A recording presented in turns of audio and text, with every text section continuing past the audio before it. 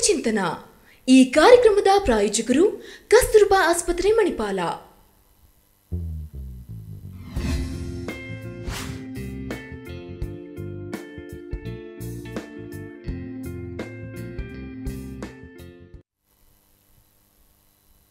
ನಮಸ್ಕಾರ ವೀಕ್ಷಕರೇ. ಕಸ್ತೂರ್ಬಾ ಆಸ್ಪತ್ರೆ ಮಣಿಪಾಲ್ ಅರ್ಪಿಸುವ ಆರೋಗ್ಯ ಚಿಂತನ ಕಾರ್ಯಕ್ರಮಕ್ಕೆ ತಮಗೆಲ್ಲರಿಗೂ ಕೂಡ ಪ್ರೀತಿಯ ಸ್ವಾಗತ. ಪ್ರತಿ ವಾರ ನಾವು ಆರೋಗ್ಯಕ್ಕೆ ಸಂಬಂಧಪಟ್ಟಂತ ಒಂದೊಂದು ವಿಚಾರಗಳ ಬಗ್ಗೆ ನಿಮ್ಮ ಮುಂದೆ ಬರ್ತಾ ಇದ್ದೇವೆ.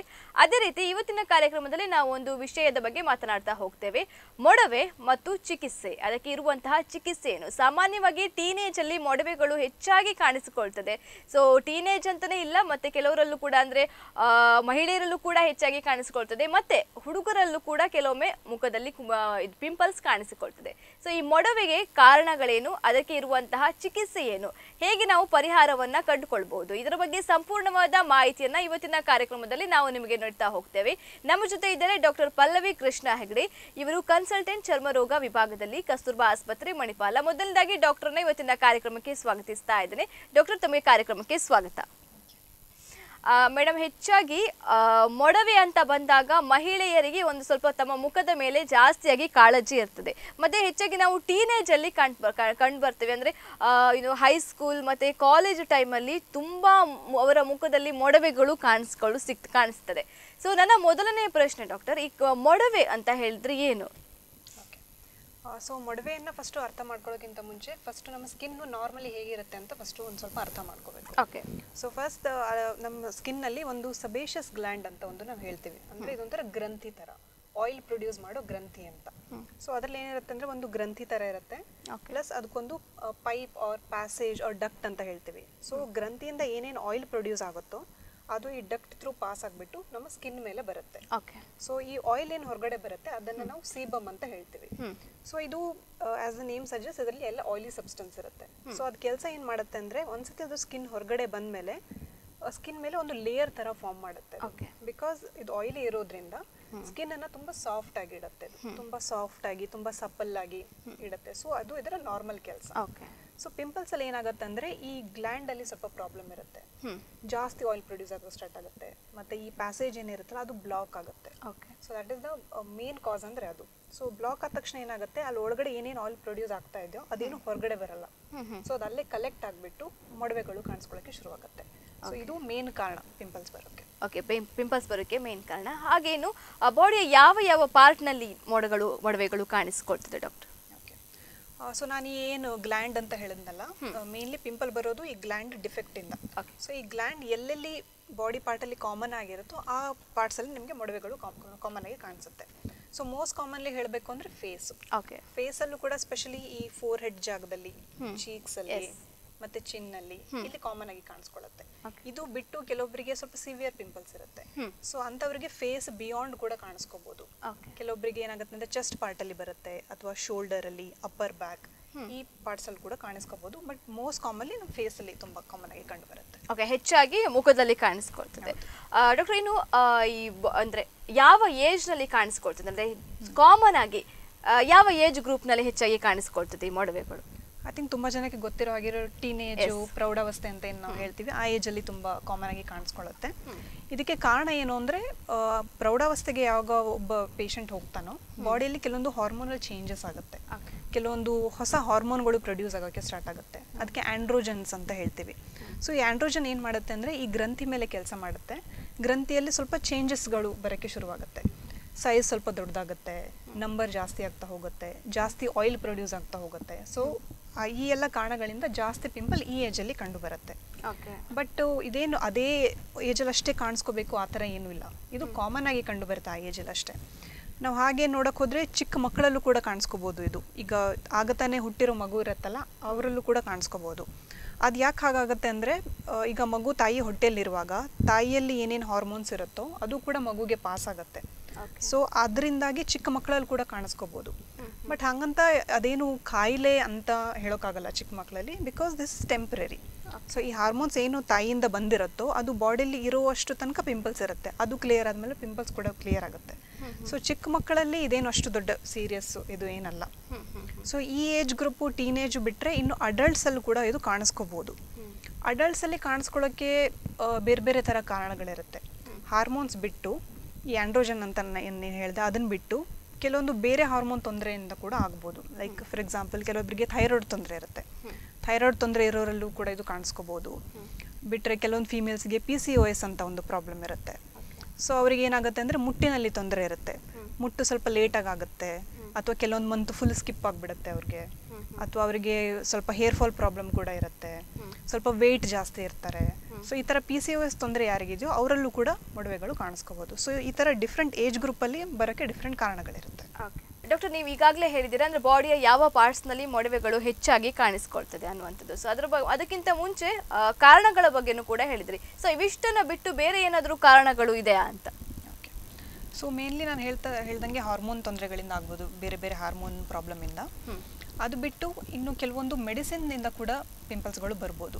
ಈಗ ಪೇಷಂಟ್ ಏನಾದರೂ ಬೇರೆ ಯಾವ್ದಾದ್ರು ತೊಂದರೆಗೆ ಬೇರೆ ಏನಾದರೂ ಮೆಡಿಸಿನ್ ತಗೋತಾ ಇದ್ರೆ ಅದರ one of the side effect ಆಗಿ ಕೂಡ ಪಿಂಪಲ್ಸ್ಗಳು ಕಾಣಿಸ್ಕೋಬೋದು. ಓಕೆ ಫಾರ್ ಎಕ್ಸಾಂಪಲ್ ಸ್ಟೀರಾಯ್ಡ್ಸ್ ಅಂತ ಒಂದು ಮಾತ್ರೆ ಇದೆ. ಅದನ್ನ ತುಂಬಾ ಡಿಸೀಸ್ ಅಲ್ಲಿ ಕೊಡ್ತಾರೆ. ತುಂಬಾ ಇಂಪಾರ್ಟೆಂಟ್ ಮೆಡಿಸಿನ್ ಅದು. ಸೊ ಅದರಿಂದ ಆಗ್ಬೋದು. ಅದರಿಂದ ಮೇನ್ಲಿ ಮುಖಕ್ಕಿಂತ ಜಾಸ್ತಿ ಬೆನ್ನು ಮತ್ತೆ ಶೋಲ್ಡರ್ ಈ ಜಾಗದಲ್ಲಿ ಜಾಸ್ತಿ ಪಿಂಪಲ್ಸ್ಗಳು ಕಾಣಿಸ್ಕೊಳತ್ತೆ. ಅದ್ ಬಿಟ್ರೆ ಇನ್ನು ಕೆಲವೊಬ್ಬರಿಗೆ ಟಿ ಬಿ ಕಾಯಿಲೆ ಇರುತ್ತೆ. ಟಿ ಬಿಗೆ ಮಾತ್ರ ತಗೋತಾ ಇರ್ತಾರೆ. ಅದರಿಂದ ಕೂಡ ಪಿಂಪಲ್ಸ್ಗಳು ಆಗ್ಬೋದು. ಮತ್ತೆ ಕೆಲವೊಂದು ಕ್ಯಾನ್ಸರ್ ಪೇಷಂಟಲ್ಲಿ ಕೆಲವೊಂದು ಮೆಡಿಸಿನ್ಸ್ ನಾವು ಯೂಸ್ ಮಾಡ್ತೀವಿ. ಮತ್ತೆ ಕೆಲವೊಂದು ಸೈಕ್ಯಾಟ್ರಿಕ್ ಪೇಷಂಟ್ಸಲ್ಲಿ ಸ್ವಲ್ಪ ಸ್ಪೆಷಲ್ ಮೆಡಿಸಿನ್ಸ್ ಯೂಸ್ ಮಾಡ್ತೀವಿ. ಸೊ ಈ ಎಲ್ಲ ಮೆಡಿಸಿನ್ಗಳಿಂದ ಕೂಡ ಆಗ್ಬೋದು. ಓಕೆ ಇವು ಇದು ಕೂಡ ಒಂದು ಕಾರಣ ಇದು ಕೂಡ ಒಂದು ಕಾರಣ. ಓಕೆ ಡಾಕ್ಟರ್ ಈಗ ಮೊಡವೆ ಅಂತ ಬಂದಾಗ ಹೆಚ್ಚಾಗಿ ಮಹಿಳೆಯರು ಅಂದ್ರೆ ಹುಡುಗಿಯರಲ್ಲಿ ನಾವು ಕಾಣ್ತೇವೆ. ಅದರ ಜೊತೆಗೆ ಇದು ಹುಡುಗರ ಮುಖದಲ್ಲೂ ಕೂಡ ಕೆಲವೊಮ್ಮೆ ಮೊಡವೆಗಳು ಕೂಡ ಕಾಣಿಸ್ತದೆ. ಸೊ ಇದು ಏನು ಡಾಕ್ಟರ್ ಹೆಚ್ಚಾಗಿ ಯಾರಲ್ಲಿ? ಮೇಲಲ್ಲಿ ಜಾಸ್ತಿಯಾಗಿ ಕಾಣಿಸ್ಕೊಳ್ತದ ಫಿಮೇಲಲ್ಲಿ ಮತ್ತೆ ಏನಾದರೂ ಡಿಫ್ರೆನ್ಸ್ ಉಂಟಾ ಅಂತ? ಸೊ ಈಗ ನಾವು ಜೆಂಡರ್ ಡಿಫ್ರೆನ್ಸ್ ನೋಡೋದಾದ್ರೆ ಮೇಲ್ಸ್ ಮತ್ತು ಫೀಮೇಲ್ಸಲ್ಲಿ ಅಷ್ಟೊಂದು ಡಿಫ್ರೆನ್ಸ್ ಇಲ್ಲ. ಈಗ ನೀವು ಪರ್ಸೆಂಟೇಜ್ ನೋಡಿದರೆ ಮೇಲ್ಸ್ ಎಷ್ಟು ಕಾಮನ್ ಆಗಿ ಎಫೆಕ್ಟ್ ಆಗ್ತಾರೋ ಫೀಮೇಲ್ಸ್ ಕೂಡ ಅಷ್ಟೇ ಕಾಮನ್ ಆಗಿ ಎಫೆಕ್ಟ್ ಆಗ್ತಾರೆ. ಬಟ್ ಡಿಫ್ರೆನ್ಸ್ ಏನು ಅಂದರೆ ಯೂಶಲಿ ಮೇಲ್ಸಲ್ಲಿ ಪಿಂಪಲ್ಸ್ ಆದರೆ ಸ್ವಲ್ಪ ಜಾಸ್ತಿ ಸಿವಿಯರ್ ಆಗೋ ರಿಸ್ಕ್ ಮೇಲ್ಸಲ್ಲಿ ಜಾಸ್ತಿ. ಓಕೆ ನೀವು ನಂಬರ್ ನೋಡಿದ್ರೆ ಇಬ್ಬರಲ್ಲೂ ಆಗುತ್ತೆ. ಮೇಲ್ಸಲ್ಲೂ ಆಗ್ಬೋದು ಫೀಮೇಲ್ಸಲ್ಲೂ ಆಗ್ಬೋದು. ಬಟ್ ಯಾರಲ್ಲಿ ಜಾಸ್ತಿ ಸಿವಿಯರ್ ಆಗುತ್ತೆ ಅಂತ ನೀವು ನೋಡೋಕೆ ಹೋದರೆ ಅದು ಯೂಶಲಿ ಮೇಲ್ಸಲ್ಲಿ ಜಾಸ್ತಿ ಕಾಮನ್ ಆಗಿ ಆಗುತ್ತೆ. ಓಕೆ ಡಾಕ್ಟರ್ ಇದರ ಸಿಂಪ್ಟಮ್ಸ್ ಬಗ್ಗೆ ನಾವು ಮಾತಾಡೋದಾದರೆ ಸಿಂಪ್ಟಮ್ಸ್ ಹೇಗಿರ್ತದೆ? ಓಕೆ ಸೊ ಸಿಂಪ್ಟಮ್ಸ್ ಹೇಗಿರುತ್ತೆ ಅಂದರೆ ಅದು ಸ್ಟೇಜ್ ಮೇಲೆ ಡಿಪೆಂಡ್ ಆಗುತ್ತೆ. ಯಾವ ಸ್ಟೇಜಲ್ಲಿದೆ ಪಿಂಪಲ್ ಅಂತ. ಸ್ಟಾರ್ಟಿಂಗಲ್ಲಿ ಏನಾಗುತ್ತೆ ಅಂದರೆ ನಾನು ಅದು ಹೇಳಿದ್ನಲ್ಲ ಡಕ್ಟ್ ಬ್ಲಾಕ್ ಆಗುತ್ತೆ ಅಂತ. ಸೊ ಅದು ತುಂಬ ಇನಿಷಿಯಲ್ ಸ್ಟೇಜ್ ಅದು. ಸೊ ಇನಿಷಿಯಲ್ ಸ್ಟೇಜಲ್ಲಿ ನಾವು ಅದಕ್ಕೆ ಮೆಡಿಕಲ್ ಟರ್ಮ್ಸಲ್ಲಿ ಕೊಮಿಡೋನ್ಸ್ ಅಂತ ಹೇಳ್ತೀವಿ. ಓಕೆ ಸೊ ಕಾಮನ್ ಟರ್ಮಲ್ಲಿ ಹೇಳೋದಾದರೆ ಪೋರ್ಸ್ ಅಂತ ಹೇಳ್ತಾರಲ್ಲ ಪೋರ್ಸ್ ಬ್ಲಾಕ್ ಆಗುತ್ತೆ. ಸೊ ಬ್ಲಾಕ್ ಆದಾಗ ಆ ಥರ black heads and white heads ಅಂತ ಕಾಣಿಸ್ಕೊಳ್ಳುತ್ತೆ. So as the name suggest ಚಿಕ್ಕ ಚಿಕ್ಕ black dots or white dots ಕಾಣಿಸ್ಕೊಳ್ಳುತ್ತೆ. Okay ಅದು ವೆರಿ ಅರ್ಲಿ ಸ್ಟೇಜಲ್ಲಿ ನೆಕ್ಸ್ಟ್ ಏನಾಗುತ್ತೆ? ಹಾಗೆ ಡಕ್ಟ್ ಬ್ಲಾಕ್ ಆಗ್ತಾ ಆಗ್ತಾ ಆಗ್ತಾ ಹೋದಂಗೆ ಬೇರೆ ಬೇರೆ ಥರ ಗುಳ್ಳೆ ಕಾಣಿಸ್ಕೊಳ್ಳೋಕ್ಕೆ ಸ್ಟಾರ್ಟ್ ಆಗುತ್ತೆ. ಫಸ್ಟ್ ಏನು ಬರುತ್ತೆ ಅಂದರೆ ಕೆಂಪು ಗುಳ್ಳೆಗಳು ಬರುತ್ತೆ. ಚಿಕ್ಕ ಚಿಕ್ಕ ಗುಳ್ಳೆ ಇರುತ್ತೆ ಅದ್ರ ಸುತ್ತ ಕೆಂಪು ಆಗಿರುತ್ತೆ. ಸೊ ಅದು ಒಂದು ಸ್ಟೇಜು ಹಾಗೆ ಇನ್ನೂ ಜಾಸ್ತಿ ಆಗ್ತಾ ಹೋದರೆ ಪಸ್ ತುಂಬ್ಕೋಬಹುದು ಅದರಲ್ಲಿ. ಪಸ್ ಗುಳ್ಳೆಗಳು ಆಗೋಕ್ಕೆ ಶುರುವಾಗುತ್ತೆ. ಇನ್ನು ತುಂಬ ಸಿವಿಯರ್ ಸ್ಟೇಜಲ್ಲಿ ಏನಾಗುತ್ತೆ ಅಂದರೆ ಅದನ್ನು ನಾವು ಮೆಡಿಕಲ್ ಟರ್ಮ್ಸಲ್ಲಿ ನಾಡಿಲು ಸಿಸ್ಟಿಕ್ ಆಕ್ನೆ ಅಂತ ಹೇಳ್ತೀವಿ. ತುಂಬ ದಪ್ಪ ದಪ್ಪ ಗುಳ್ಳೆಗಳಾಗುತ್ತೆ ಫೇಸಲ್ಲಿ ನಾಡ್ಯೂಲ್ಸ್ ಸಿಸ್ಟ್ ಅಂತ ಹೇಳ್ತೀವಿ. ಫುಲ್ ಪಸ್ ತುಂಬಿರುತ್ತೆ ಅದರಲ್ಲಿ. ತುಂಬ ಪೇನ್ ಕೂಡ ಆಗ್ಬೋದು. ಕೆಲವೊಬ್ಬರಿಗೆ ತುಂಬ ಸಿವಿಯರ್ ಆದರೆ ಇಂಥರ ಈ ಥರ ದೊಡ್ಡ ಗುಳ್ಳೆಗಳು ಬೆನ್ನ ಮೇಲೆ ಕೂಡ ಕಾಣಿಸ್ಕೋಬೋದು. ಜ್ವರ ಕೂಡ ಬರ್ಬೋದು. ಸೊ ಇವೆಲ್ಲ ಸಿಮ್ಟಮ್ಸ್ಗಳಾಗುತ್ತೆ and depending on the severity so patient ಯಾವ ಸ್ಟೇಜಲ್ಲಿ ಬೇಕಿದ್ರು ಬರ್ಬೋದು ನಮ್ಮ ಓಕೆ ಡಾಕ್ಟರ್ ಮತ್ತೆ ಹೇಗೆ ಡಯಾಗ್ನೋಸಿಸ್ ಮಾಡಿ ಮಾಡುವುದಂತ ಡಾಕ್ಟರ್ ಹೇಗಿದೆ? ಓಕೆ ಸೊ ಯೂಶಲಿ ಜನ ಏನು ಅನ್ಕೋತಾರೆ ಅಂದರೆ ಮುಖದಲ್ಲಿ ಏನೇ ಒಂದು ಗುಳೆ ಕಾಣಿಸ್ಕೊಂಡ್ರು ಪಿಂಪಲ್ ಆಗಿದೆ ಅಂತ ಹೇಳ್ತಾರೆ. ಸೊ ಅದನ್ನು ಆ ಥರ ಅನ್ಕೋಬಾರ್ದು ಯಾವಾಗಲೂ. ಯಾಕಂದರೆ ಮುಖದಲ್ಲಿ ಗುಳ್ಳೆಗಳಾಗಲಿಕ್ಕೆ ತುಂಬ ಹಲವಾರು ಕಾರಣಗಳಿರುತ್ತೆ. Pimples one of the common cause ಅಷ್ಟೇ. ಸೊ ಆ ಥರ ಅಸ್ಯೂಮ್ ಮಾಡ್ಕೋಬಾರ್ದು. ಫಸ್ಟ್ ನೀವು ಡಾಕ್ಟರ್ ಹತ್ರ ಹೋಗಿ ತೋರಿಸೋದು ಒಳ್ಳೆಯದು ಓಕೆ ಸೊ ನಾವು ಏನು ಮಾಡ್ತೀವಿ ಅಂದರೆ ಫಸ್ಟ್ ಪೇಷಂಟ್ ಬಂದಾಗ ಒಂದ್ಸತಿ ಪೇಷಂಟ್ನ ಡೀಟೇಲ್ ಆಗಿ ಕೇಳ್ತೀವಿ. ಡಯಾಗ್ನೋಸಿಸ್ ಮಾಡೋಕ್ಕೆ. ಯಾವಾಗ ಶುರುವಾಯಿತು? ಹೇಗೆ ಶುರುವಾಯಿತು? ಸ್ಟಾರ್ಟಿಂಗ್ ಕಾಣಿಸ್ಕೊಂಡಾಗ ಹೇಗಿತ್ತು? ಆಮೇಲೆ ಹೇಗೆ ಪ್ರೋಗ್ರೆಸ್ ಆಯಿತು? ಬಾಡಿ ಯಾವ್ಯಾವ ಪಾರ್ಟ್ಸಲ್ಲಿ ಇದೆ? ಮತ್ತು ನಾವು ಪೇಷಂಟ್ ಎಕ್ಸಾಮಿನ್ ಮಾಡುವಾಗಲೂ ಅಷ್ಟೇ ಯಾವ್ಯಾವ ಕಾಮನ್ ಏರಿಯಾದಲ್ಲಿ ಪಿಂಪಲ್ಸ್ ಕಾಣಿಸ್ಕೊಳ್ಳುತ್ತೋ ಆ ಎಲ್ಲ ಪಾರ್ಟ್ಸನ್ನು ನೋಡ್ತೀವಿ ನಾವು ಕರೆಕ್ಟಾಗಿ ಸೊ ನಾನು ಹೇಳ್ದಂಗೆ ಯಾವ್ಯಾವ ಥರ ಗುಳ್ಳೆಗಳಿರುತ್ತೆ ಅಂತ ಹೇಳಿದ್ನಲ್ಲ ಸೊ ಅವೆಲ್ಲ ಇದೆಯಾ? ಯಾವ ಸ್ಟೇಜಲ್ಲಿದೆ ಆ ಥರ ನೋಡ್ತೀವಿ.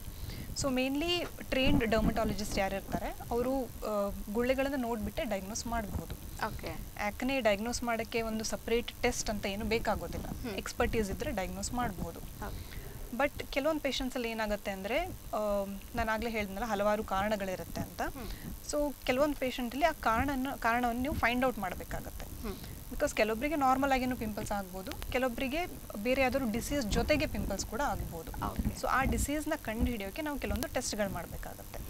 ಲೈಕ್ ಫಾರ್ ಎಕ್ಸಾಂಪಲ್ ನಾನು ಆಗಲೇ ಹೇಳ್ದಂಗೆ ಕೆಲವೊಬ್ಬರಲ್ಲಿ ಥೈರಾಯ್ಡ್ ತೊಂದರೆ ಇರ್ಬೋದು. ಸೊ ನಾವು ಥೈರಾಯ್ಡ್ಗೆ ಟೆಸ್ಟ್ ಮಾಡಬೇಕಾಗುತ್ತೆ. ಕೆಲವೊಬ್ಬರಿಗೆ ಪಿ ಸಿ ಓ ಎಸ್ ತೊಂದರೆ ಇರ್ಬೋದು. ಸೊ ಆಗ ನಾವು ಹಾರ್ಮೋನ್ಸ್ನೆಲ್ಲ ಟೆಸ್ಟ್ ಮಾಡಿ ನೋಡಬೇಕಾಗುತ್ತೆ. ಗರ್ಭಕೋಶದಲ್ಲಿ ಏನಾದರೂ ತೊಂದರೆ ಇದೆಯಾ ಅಂತ ನೋಡೋಕ್ಕೆ ಸ್ಕ್ಯಾನ್ ಮಾಡಿ ನೋಡಬೇಕಾಗುತ್ತೆ. ಸೊ ಎಲ್ಲ ಪೇಷಂಟಲ್ಲೂ ರೂಟೀನಾಗಿ ಇವೆಲ್ಲ ಟೆಸ್ಟ್ಗಳನ್ನ ಏನು ಮಾಡಬೇಕಾಗಿಲ್ಲ.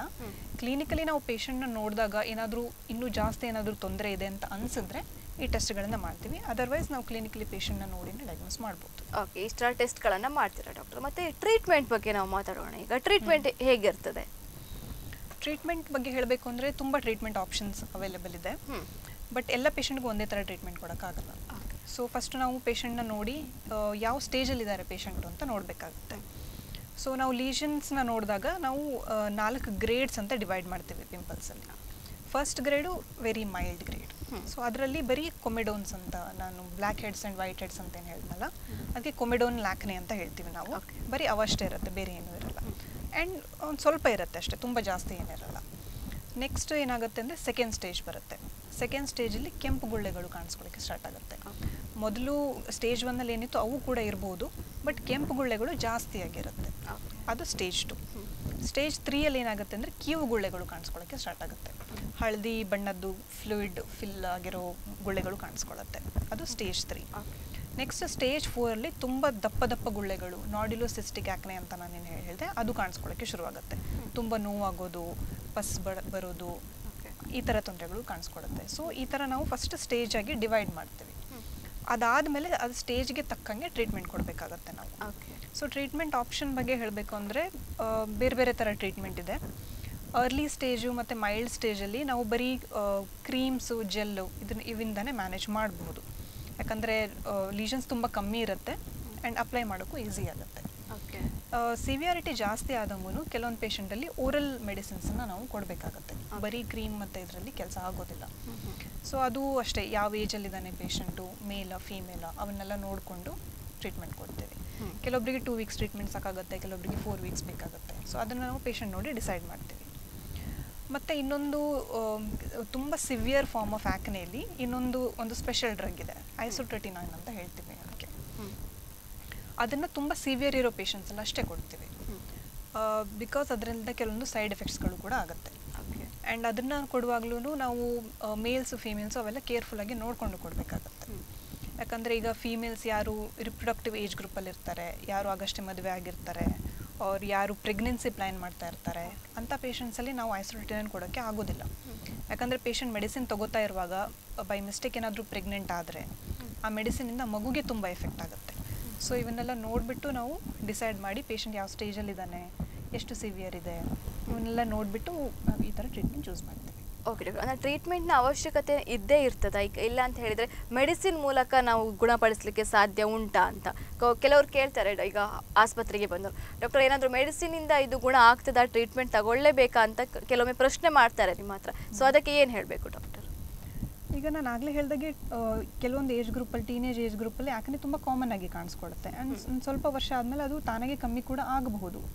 ಬಟ್ ಅದರ ಅರ್ಥ ಟ್ರೀಟ್ಮೆಂಟ್ ಮಾಡಬಾರ್ದು ಅಂತ ಅಲ್ಲ. ಓಕೆ ಯಾಕಂದರೆ ನಾವು ಟ್ರೀಟ್ಮೆಂಟ್ ಮಾಡಿಲ್ಲ ಅಂದರೆ ಅದಿನ್ನೂ ಪ್ರೋಗ್ರೆಸ್ ಆಗ್ತಾ ಹೋಗುತ್ತೆ. ಈಗ ಪೇಷಂಟ್ ಫಾರ್ ಎಕ್ಸಾಂಪಲ್ ಸ್ಟೇಜ್ ಒನ್ನಲ್ಲಿದ್ದಾನೆ ಅಂದರೆ ನಾವೇನು ಟ್ರೀಟ್ಮೆಂಟ್ ಮಾಡಿಲ್ಲ ಅಂದರೆ ಅದು ಸ್ಟೇಜ್ ಟೂಗೆ ಪ್ರೋಗ್ರೆಸ್ ಆಗ್ಬೋದು. ಹಂಗೆ ತ್ರೀಗೆ ಹೋಗ್ಬೋದು ಫೋರ್ಗೆ ಹೋಗ್ಬೋದು. ಆ ಥರ ಸಿವಿಯಾರಿಟಿನೂ ಜಾಸ್ತಿ ಆಗ್ತಾ ಹೋಗುತ್ತೆ. ಸಿವಿಯಾರಿಟಿ ಜಾಸ್ತಿ ಆದಂಗೂ ಕಾಂಪ್ಲಿಕೇಶನ್ ಕೂಡ ಜಾಸ್ತಿ ಆಗ್ತಾ ಹೋಗುತ್ತೆ. ಈಗ ನಾವು ಆ್ಯಕ್ನೆ ಟ್ರೀಟ್ ಮಾಡಿಲ್ಲ ಅಂದರೆ ಏನಾಗುತ್ತೆ? ಅದು ತಾನಾಗೆ ಏನಾದರೂ ಕಮ್ಮಿ ಆದರೆ ಕೆಲವೊಂದು ಕಲೆಗಳನ್ನು ಬಿಡುತ್ತೆ ಅದು. ಪಿಗ್ಮೆಂಟೇಷನ್ ಆಗುತ್ತೆ. ಅಥವಾ ಇಲ್ಲಾಂದ್ರೆ ಏನಾದರೂ ಸ್ಕಾರ್ಸ್ ಆಗೋದು ಚರ್ಮದಲ್ಲಿ ಗುಳಿಗಳು ಬೀಳೋದು ಈ ಥರವೆಲ್ಲ ಆಗುತ್ತೆ. ಸೊ ಈ ಕಾಂಪ್ಲಿಕೇಶನ್ಸ್ನ ಅವಾಯ್ಡ್ ಮಾಡೋಕ್ಕೆ ಆದಷ್ಟು ಬೇಗ ನಾವು ಟ್ರೀಟ್ಮೆಂಟ್ನ ಕೊಡಬೇಕಾಗತ್ತೆ. ಓಕೆ ಆಮೇಲೆ ಇನ್ನೊಂದು ಏನಂದರೆ ಈ ಕಾಂಪ್ಲಿಕೇಶನ್ಸ್ ಏನಾಗುತ್ತಲ್ಲ ಈ ಪಿಗ್ಮೆಂಟೇಷನ್ನು ಗುಳಿಗಳು ಇವೆಲ್ಲ. ಇದರಲ್ಲಿ ಕೆಲವೊಂದು ಪರ್ಮನೆಂಟ್ ಇರುತ್ತೆ. ಅದನ್ನು ಟ್ರೀಟ್ ಮಾಡೋದು ತುಂಬಾ ಕಷ್ಟ ಆಗುತ್ತೆ. ಓಕೆ ಓಕೆ ಆ್ಯಂಡ್ ಇನ್ನೂ ಒಂದು ಕಾರಣ ಹೇಳಬೇಕು ಅಂದರೆ ಈ ಥರ ಯಾರಿಗೆ ತುಂಬ ಜಾಸ್ತಿ ಪಿಂಪಲ್ಸ್ ಆಗಿರುತ್ತೋ ಅವರಿಗೆ ಸೈಕಾಲಜಿಕಲಿ ಕೂಡ ತುಂಬ ಎಫೆಕ್ಟ್ ಆಗುತ್ತೆ ಬಿಕಾಸ್ ಮುಖದ ಮೇಲೆ ಇರುತ್ತಲ್ವಾ? ಹೊರಗಡೆ ಹೋಗುವಾಗ ತುಂಬಾ ಹೆದರ್ಕೋತಾರೆ ಅವರು ನಾಚಿಕೆ ಪಟ್ಕೋತಾರೆ ಫಂಕ್ಷನ್ ಫಂಕ್ಷನಿಗೆ ಹೋಗ್ಲಿಕ್ಕೆಲ್ಲ ಒಂಥರ ಅನ್ಸುತ್ತೆ ಅವ್ರಿಗೆ. ಫ್ರೆಂಡ್ಸ್ ಎಲ್ಲ ಟೀಸ್ ಮಾಡ್ತಾರೆ. ಯಾವಾಗ್ಲೂ ಮಿರರ್ ಮುಂದೆ ನಿಂತ್ಕೊಂಡು ನೋಡ್ತಾರೆ ನಮ್ಮ ಮುಖ ಹೀಗಾಗಿದೆ ಅಂತ. ತುಂಬಾ ಬೇಜಾರು ಪಟ್ಕೋತಾರೆ. ಸೊ ಇವನ್ನೆಲ್ಲ ಅವಾಯ್ಡ್ ಮಾಡ್ಬೇಕಂದ್ರೆ ಆದಷ್ಟು ಬೇಗ ಟ್ರೀಟ್ಮೆಂಟ್ ಸ್ಟಾರ್ಟ್ ಮಾಡಬೇಕು. ಓಕೆ ಡಾಕ್ಟರ್ ಹಾಗೆ ಈ ಮೆಡಿಸಿನ್ಸ್ ಇಂದ ಏನಾದರೂ ಸೈಡ್ ಎಫೆಕ್ಟ್ಸ್ ಉಂಟಾ ಅಂತ ಕೇಳಬೇಕು. ಸೈಡ್ ಎಫೆಕ್ಟ್ ಏನಾದರೂ ಆಗ್ತದಾ? ಸೊ ನಾವೀಗ ಮೆಡಿಸಿನ್ ಏನು ಯೂಸ್ ಮಾಡ್ತೀವಿ ಅದರಿಂದ ಆ ಥರ ಮೇಜರ್ ಸೈಡ್ ಎಫೆಕ್ಟ್ ಏನಿಲ್ಲ. ಬಟ್ ಒಂದು ಏನಂದರೆ ನಾನು ಆಗಲೇ ಹೇಳ್ದಂಗೆ ಪಿಂಪಲ್ಸಲ್ಲಿ ಏನಾಗುತ್ತೆ ಅಂದರೆ ಆಯಿಲ್ ಪ್ರೊಡಕ್ಷನ್ ತುಂಬ ಜಾಸ್ತಿ ಆಗಿರುತ್ತೆ. ಸೊ ನಾವು ಈ ಥರ ಕೊಡೋ ಮೆಡಿಸಿನ್ ಎಲ್ಲದರಿಂದನೂ ಆಯಿಲನ್ನು ಕಮ್ಮಿ ಮಾಡೋಕ್ಕೆ ಅಂತ ಕೊಡ್ತೀವಿ ನಾವು ಬೇಸಿಕಲಿ ಸೊ ಅದರಿಂದ ಏನಾಗುತ್ತೆ ಅಂದರೆ ಸ್ಕಿನ್ ಸ್ವಲ್ಪ ಡ್ರೈ ಆಗಬಹುದು.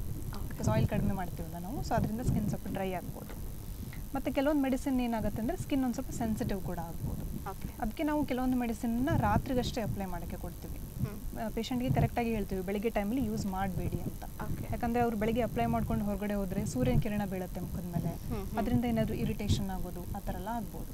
ಸೊ ಈ ಥರ ಕೆಲವೊಂದು ಮೈನರ್ ಸೈಡ್ ಎಫೆಕ್ಟ್ಸ್ ಇದೆ. ಅದು ಬಿಟ್ಟರೆ ಆ ಥರ ಮೇಜರ್ ಸೈಡ್ ಎಫೆಕ್ಟ್ಸ್ ಏನು ಓಕೆ ಡಾಕ್ಟರ್ ಹಾಗೆ ಇನ್ನು ಈ ಪೀರಿಯಡ್ಸ್ಗೂ ಮತ್ತು ಪಿಂಪಲ್ಸ್ಗೆ ಏನಾದರೂ ಕನೆಕ್ಷನ್ ಉಂಟಾ ಅಂತ ಅಂದರೆ ಕೆಲವರಿಗೆ ಪೀರಿಯಡ್ಸ್ ಟೈಮಲ್ಲಿ ಮುಖದಲ್ಲಿ ಮೊಡವೆಗಳು ಕಾಣಿಸ್ತದೆ. ಸೊ ಅದಕ್ಕೆ ಏನಾದರೂ ಕನೆಕ್ಷನ್ ಉಂಟಾ ಅಂತ ಕೇಳಬೇಕು. ಓಕೆ ಸೊ ಪೀರಿಯಡ್ಸ್ ಟೈಮಲ್ಲಿ ಏನಾಗುತ್ತೆ ಅಂದರೆ ಹಾರ್ಮೋನ್ಗಳು ತುಂಬ ಏರುಪೇರು ಆಗ್ತಾ ಇರುತ್ತೆ.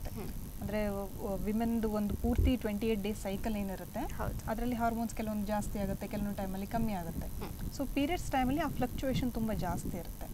ಸೊ ತುಂಬ ಜನ ಪೇಷಂಟ್ ಅದನ್ನೇ ಕಂಪ್ಲೇಂಟ್ ಮಾಡ್ತಾರೆ. ಪೀರಿಯಡ್ಗಿಂತ ನಾಲ್ಕು ದಿನ ಮುಂಚೆ ಹೊಸ ಹೊಸ ಪಿಂಪಲ್ ಬರ್ತಾ ಇದೆ ಅಂತ. ಸೊ ಆ ಹಾರ್ಮೋನ್ ಇಂಬ್ಯಾಲೆನ್ಸಿಂದ ಆ ಥರ ಆಗುತ್ತೆ. ಬಟ್ ಅದು ಏನು ಟ್ರೀಟ್ ಮಾಡ್ಬೋದು ಅದರಿಂದ ಏನಂತ ತೊಂದರೆ ಏನೂ ಇಲ್ಲ. ಓಕೆ ಡಾಕ್ಟರ್ ಮತ್ತೆ ಕೆಲವರಿಗೆ ಕೆಲವೊಂದು ಫುಡ್ ತಿಂದರೆ ನನಗೆ ಆಗೋದಿಲ್ಲ ಮುಖದಲ್ಲಿ ಮೊಡವೆ ಆಗ್ತದೆ ಅಂತ ಒಂದು ಮಾತು ಬರ್ತದೆ. ಇದು ನಿಜವಾಗ್ಲೂ ಹೌದಾ ಅಂತ ನಾನು ಕೇಳಬೇಕು. ಯಾವುದಾದ್ರೂ ಫುಡ್ಡಿಂದ ಮೊಡವೆ ಆಗ್ತದ ಮೊಡವೆ ಮುಖದಲ್ಲಿ ಕಾಣಿಸ್ಕೊಳ್ತದಾ ಅಂತ? ಸೊ ಫುಡ್ ಆ್ಯಂಡ್ ಆ್ಯಕ್ನೆ ಬಗ್ಗೆ ಮಾತಾಡಬೇಕು ಅಂದರೆ ಸೈಂಟಿಫಿಕ್ ಇದರಲ್ಲಿ ಅಷ್ಟೊಂದು ಸ್ಟ್ರಾಂಗ್ ಎವಿಡೆನ್ಸ್ ಅಂತ ಇಲ್ಲ ಇದಕ್ಕೆ. ಓಕೆ ಕೆಲವೊಂದು ಫುಡ್ ಬಗ್ಗೆ ಇದೆ. ಮೇನ್ಲಿ ಈ ಡೈರಿ ಪ್ರಾಡಕ್ಟ್ಸ್ ಅಂತ ನಾವು ಏನು ಹೇಳ್ತೀವಿ? ಹಾಲು ಮತ್ತು ಹಾಲಿನ ಪದಾರ್ಥಗಳು. ಹೌದು. ಅದರಿಂದ ಒಂದು ಸ್ವಲ್ಪ ಆಗೋ ಚಾನ್ಸಸ್ ಇರುತ್ತೆ. ಮತ್ತು ಕೆಲವೊಂದು ಹೈ ಗ್ಲೈಸಿಮಿಕ್ ಫುಡ್ ಅಂತ ಹೇಳ್ತೀವಿ ನಾವು. ಅಂದರೆ ಫುಡ್ ತೊಗೊಂಡ ತಕ್ಷಣ ಬ್ಲಡ್ಡಲ್ಲಿ ಶುಗರ್ ಲೆವೆಲ್ ಜಾಸ್ತಿ ಆಗುತ್ತೆ ಸಡನ್ ಆಗಿ ಜಾಸ್ತಿ ಆಗುತ್ತೆ. ಅವಕ್ಕೆ ಹೈ ಗ್ಲೈಸಿಮಿಕ್ ಫುಡ್ ಅಂತ ಹೇಳ್ತೀವಿ. ಸೊ ಅದರಿಂದನೂ ಪಿಂಪಲ್ಸ್ ಜಾಸ್ತಿ ಆಗುತ್ತೆ ಅನ್ನೋದಕ್ಕೆ ಒಂದು ಸ್ವಲ್ಪ ಪ್ರೂಫ್ ಇದೆ. ಸೊ ಈ ಹೈ ಗ್ಲೈಸಿಮಿಕ್ ಫುಡ್ ಅಂದರೆ ಈ junk food chips white rice white bread ಈ ಥರದ್ರಿಂದ ಕೆಲವೊಬ್ಬರಿಗೆ ಆಗುತ್ತೆ. ಬಟ್ ಅಷ್ಟೊಂದು ಸ್ಟ್ರಾಂಗ್ ಪ್ರೂಫ್ ಇಲ್ಲ. ಆ್ಯಂಡ್ ಇದು ಒಂದು ಪರ್ಸನ್ನಿಂದ ಇನ್ನೊಂದು ಪರ್ಸನ್ಗೆ ವೇರಿ ಆಗುತ್ತೆ. ಎಲ್ಲರಿಗೂ ಆಗಲೇಬೇಕು ಅಂತ ಏನಿಲ್ಲ. ಸೊ ಆ ಪೇಷಂಟ್ ಒಂದು ಸ್ವಲ್ಪ ಒಬ್ಸರ್ವ್ ಮಾಡ್ಕೋಬೋದು. ನನಗೇನಾದರೂ ಈ ಫುಡ್ಡಿಂದ ಆಗ್ತಾ ಇಲ್ಲ ಅಂತ. ಸೊ ಅದನ್ನು ಅವಾಯ್ಡ್ ಮಾಡಬೇಕಾಗುತ್ತೆ. ಓಕೆ ಡಾಕ್ಟರ್ ಹಾಗೆ ಇದ್ರ ಸೆಲ್ಫ್ ಟ್ರೀಟ್ಮೆಂಟ್ ಬಗ್ಗೆ ಮಾತಾಡೋದಾದ್ರೆ ಏನು ಹೇಳ್ತೀರಾ ಡಾಕ್ಟರ್ ನೀವು? ಓಕೆ ಸೊ ಎಲ್ಲರೂ ಏನು ಮಾಡ್ತಾರೆ ಅಂದರೆ ಮುಖದ ಮೇಲೆ ಗುಳ್ಳೆ ಕಾಣ್ಕೊಂಡ ತಕ್ಷಣ ತಾವೇ ಟ್ರೀಟ್ ಮಾಡೋಕ್ಕೆ ಸ್ಟಾರ್ಟ್ ಮಾಡ್ತಾರೆ ಏನಾದರೂ ಹಚ್ಕೊಳ್ಳೋದು ಸ್ಟಾರ್ಟ್ ಮಾಡ್ತಾರೆ. ಮನೆಯಲ್ಲಿ ಏನು ಸಿಗ್ತದೆ ಅದರಿಂದ ಹೋಗ್ತದೆ ಯಾರೋ ಬೇರೆ ಪೇಷಂಟ್ಗೆ ಏನೋ ಕೊಟ್ಟಿರ್ತಾರೆ ಅದನ್ನ ಇಸ್ಕೊಂಡು ಹಚ್ಕೊಳ್ಳೋದು ಈ ಥರ ಎಲ್ಲ ಮಾಡ್ತಾರೆ. ಸೊ ಫಸ್ಟ್ ಆಫ್ ಆಲ್ ಅದನ್ನ ಮಾಡಬಾರ್ದು. ಯಾಕಂದರೆ ಈಚ್ ಪೇಷಂಟ್ಗೂ ಟ್ರೀಟ್ಮೆಂಟ್ ಡಿಫ್ರೆಂಟ್ ಇರುತ್ತೆ. ಮತ್ತೆ ತುಂಬಾ ಜನ ಏನ್ ಮಾಡ್ತಾರೆ ಅಂದ್ರೆ ಪಿಂಪಲ್ ಕಾಣಿಸ್ಕೊಂಡ ತಕ್ಷಣ ಅದನ್ನ ಕೈ ಕೈಯಿಂದ ಇದು ಮಾಡಕ್ಕೆ ಟ್ರೈ ಮಾಡ್ತಾರೆ. ಅದರಲ್ಲಿರೋ ಫ್ಲೂಯಿಡ್ ತೆಗೆದ್ರೆ ಕಮ್ಮಿ ಆಗುತ್ತೇನೋ ಅಂತ ಮಾಡ್ತಾರೆ. ಅದನ್ನ ಖಂಡಿತವಾಗ್ಲೂ ಮಾಡಕೂಡ್ದು. ಅದರಿಂದ ಏನಾಗುತ್ತೆ ಅಂದರೆ ನಾನು ಅದೇನೆಲ್ಲ ರೆಡ್ ಗುಳ್ಳೆಗಳಾಗಿರುತ್ತೆ ಅಂತ. ಅದಕ್ಕೆ ಇನ್ಫ್ಲಮೇಷನ್ ಅಂತ ಹೇಳ್ತೀವಿ ನಾವು ಮೆಡಿಕಲ್ ಟರ್ಮ್ಸಲ್ಲಿ ಸೊ ನೀವು ಅದನ್ನು ಮ್ಯಾನ್ಯುಪುಲೇಟ್ ಮಾಡೋಕ್ಕೆ ಟ್ರೈ ಮಾಡಿದ್ರೆ ಆ ಇನ್ಫ್ಲಮೇಷನ್ ಇನ್ನೂ ಜಾಸ್ತಿ ಆಗುತ್ತೆ. ಇನ್ನೂ ಡೀಪಾಗಿ ಹೋಗೋಕ್ಕೆ ಶುರುವಾಗುತ್ತೆ. ಇನ್ನೂ ಆ ಕಡೆ ಕಡೆ ಎಲ್ಲ ಸ್ಪ್ರೆಡ್ ಆಗುತ್ತೆ. ಎಷ್ಟು ರೆಡ್ನೆಸ್ ಜಾಸ್ತಿ ಆಗುತ್ತೋ ಕಾಂಪ್ಲಿಕೇಶನ್ ಕೂಡ ಅಷ್ಟೇ ಜಾಸ್ತಿ ಆಗ್ತಾ ಹೋಗುತ್ತೆ.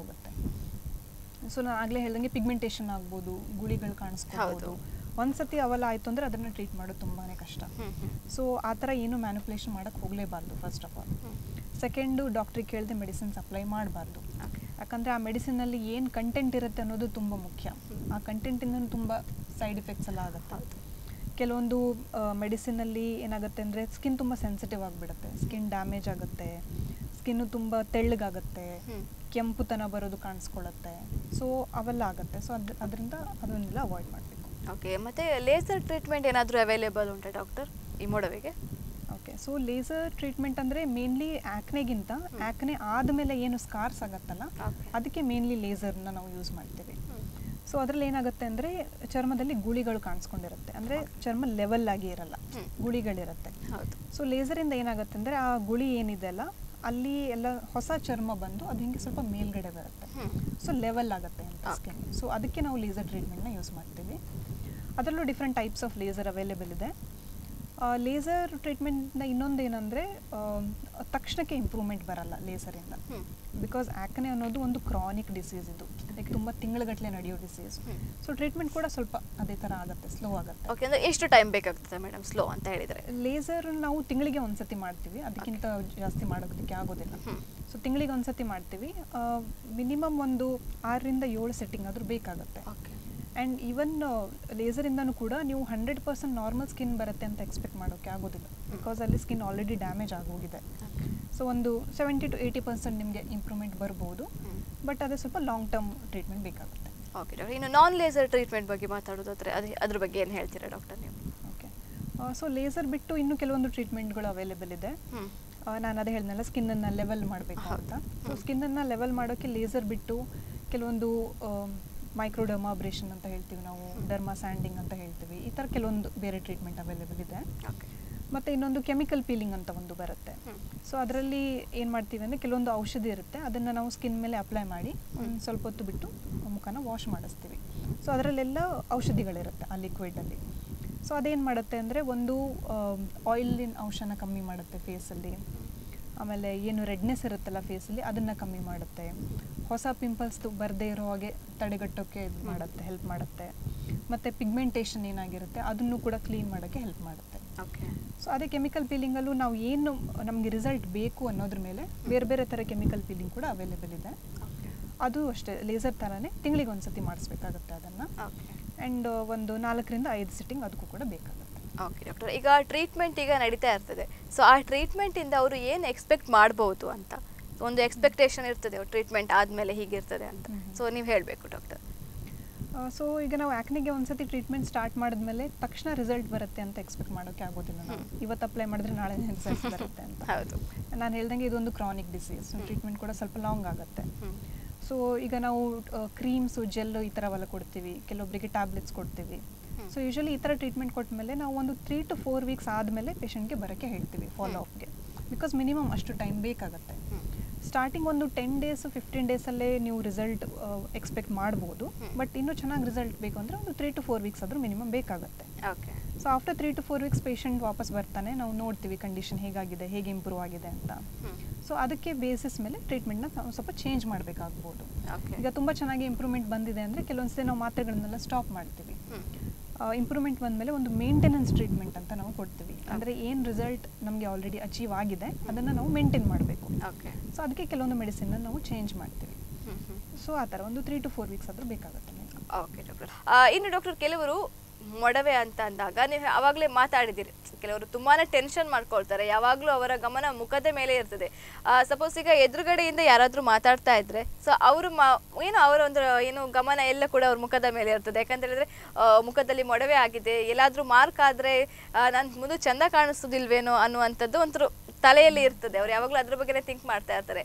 ಅದಕ್ಕೋಸ್ಕರ ಕೆಲವರು ಏನು ಮಾಡ್ತಾರೆ ಅಂತ ಹೇಳಿದ್ರೆ ಮೆಡಿಕಲ್ ಅಲ್ಲಿ ಏನು ಅಥವಾ ಬೇರೆ ಕಡೆಯಲ್ಲಿ ಏನಾದ್ರು ಏನಾದರೂ ಕ್ರೀಮ್ಸ್ ಸಿಕ್ ಸಿಕ್ಕಿದ್ರೆ ಸೊ ಅದನ್ನು ಅವರು ಹಚ್ಕೊಳ್ತಾರೆ. ಸೊ ಇದು ಹಚ್ಕೊಳ್ಳೋದ್ರಿಂದ ಏನಾದರೂ ಬೆನಿಫಿಟ್ಸ್ ಉಂಟಾ ಅವರಿಗೆ? ಇದರಿಂದ ಏನಾದರೂ ಸೈಡ್ ಎಫೆಕ್ಟ್ ಇದೆಯಾ ಅಂತ ಕೇಳಬೇಕು ನಾನು. ಸೊ ಈ ಥರ ಡಾಕ್ಟರ್ಸ್ಗೆ ತೋರಿಸದೆ ಪ್ರಿಸ್ಕ್ರಿಪ್ಷನ್ ತೊಗೊಳ್ದೆ ಏನು ಮೆಡಿಸಿನ್ ತಗೋತಾರೆ? ಓವರ್ ದ ಕೌಂಟರ್ ಪ್ರಿಪ್ರೇಷನ್ ಅಂತ ಹೇಳ್ತೀವಿ. ಅಂದರೆ ಮೆಡಿಕಲ್ ಶಾಪಲ್ಲಿ ಸುಮ್ಮನೆ ಕೇಳಿಬಿಟ್ಟು ತಗೋತಾರೆ ಕೆಲವೊಬ್ಬರು ಸೊ ಅದನ್ನ ಫಸ್ಟ್ ಆಫ್ ಆಲ್ ಮಾಡಬಾರ್ದು. ಯಾಕಂದ್ರೆ ನಾನು ಆಗ್ಲೇ ಹೇಳ್ದಂಗೆ ಅದರಲ್ಲಿ ತುಂಬಾ ಡಿಫ್ರೆಂಟ್ ಟೈಪ್ಸ್ ಆಫ್ ಕೆಮಿಕಲ್ಸ್ ಎಲ್ಲ ಇರುತ್ತೆ. ಅದು ಎಲ್ಲ ಸ್ಕಿನ್ಗೆ ಸೂಟ್ ಕೂಡ ಆಗೋದಿಲ್ಲ. ಕೆಲವೊಬ್ಬರಿಗೆ ರಿಯಾಕ್ಷನ್ ಆಗ್ಬೋದು ಅದರಿಂದ. ಮತ್ತೆ ಈ ಮೋಸ್ಟ್ ಆಫ್ ದಿ ಈ ಥರ ಕ್ರೀಮ್ಸಲ್ಲಿ ಸ್ಟೀರಾಯ್ಡ್ ಅಂತ ಒಂದು ಅಂಶ ಇರುತ್ತೆ. ಸೊ ಈ ಸ್ಟೀರಾಯ್ಡ್ ಏನು ಮಾಡುತ್ತೆ ಅಂದರೆ ಒಂದು ಸ್ವಲ್ಪ ದಿನ ಏನಾದರೂ ಟೆಂಪ್ರರಿ ರಿಲೀಫ್ ಕೊಡುತ್ತೆ ನಿಮಗೆ. ಒಂದು ಸ್ವಲ್ಪ ಏನೋ ರೆಡ್ನೆಸ್ ಕಮ್ಮಿ ಆದಂಗೆ ಅನ್ಸುತ್ತೆ. ಸೊ ಪೇಷಂಟ್ ಏನು ಮಾಡ್ತಾನೆ ಓ ಕ್ರೀಮಿಂದ ಚೆನ್ನಾಗಿ ಆಗ್ತಾ ಇದೆ ಅಲ್ಲ ಸ್ಕಿನ್ ಅಂತ ಇನ್ನೂ ಜಾಸ್ತಿ ಅಪ್ಲೈ ಮಾಡೋಕ್ಕೆ ಶುರು ಮಾಡ್ತಾರೆ. ಓಕೆ ಸೊ ಅದರಿಂದ ಏನಾಗುತ್ತೆ ಆಫ್ಟರ್ ಫ್ಯೂ ಡೇಸ್ ಮತ್ತೆ ಹೊಸ ಹೊಸ ಪಿಂಪಲ್ಸ್ ಬರೋಕ್ಕೆ ಶುರುವಾಗುತ್ತೆ. ಸೊ ನಾವು ಯಾವ ಕ್ರೀಮನ್ನು ಪಿಂಪಲ್ಸ್ ಕಮ್ಮಿ ಆಗೋಕ್ಕೆ ಅಂತ ಯೂಸ್ ಮಾಡಿದ್ವು ಅದರಿಂದನೇ ಮತ್ತೆ ಪಿಂಪಲ್ಸ್ ಬರೋಕ್ಕೆ ಶುರುವಾಗುತ್ತೆ. ಸೊ ಆ ಥರ ಓವರ್ ದ ಕೌಂಟರ್ ಪ್ರಿಪ್ರೇಷನ್ನ ಯೂಸ್ ಮಾಡಬಾರ್ದು.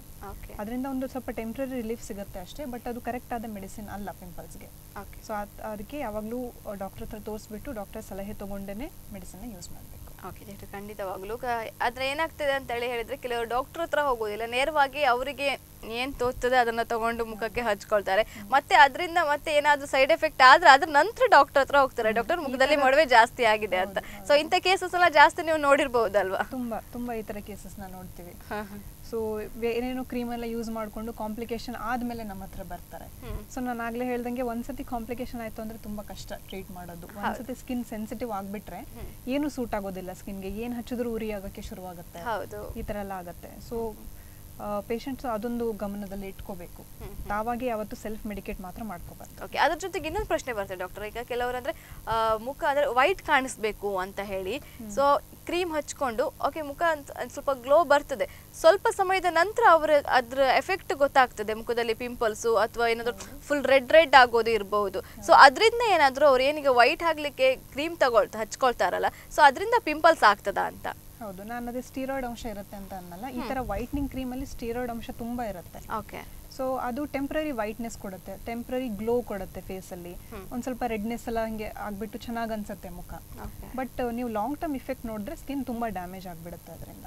ಈ ತರ ವೈಟ್ನಿಂಗ್ ಕ್ರೀಮ್ಸ್ ಅಲ್ಲಿ ತುಂಬಾ ಈ ತರ ಸ್ಟೀರಾಯ್ಡ್ ಅಂಶಗಳು ಇರುತ್ತೆ. ಕೆಲವೊಬ್ಬರಿಗೆ ಬಂಗು ಅಂತ ಹೇಳ್ತಾರೆ. ಕೆನ್ನೆ ಮೇಲೆ ಸ್ವಲ್ಪ ಬ್ಲ್ಯಾಕ್ ಸ್ಪಾಟ್ಸ್ ಇರುತ್ತೆ. ಅದನ್ನ ಕ್ಲಿಯರ್ ಮಾಡಕ್ಕೆ ಅಂತ ಅವರು ಕೆಲವೊಂದು ಕ್ರೀಮ್ಸ್ನ ಯೂಸ್ ಮಾಡ್ತಾರೆ.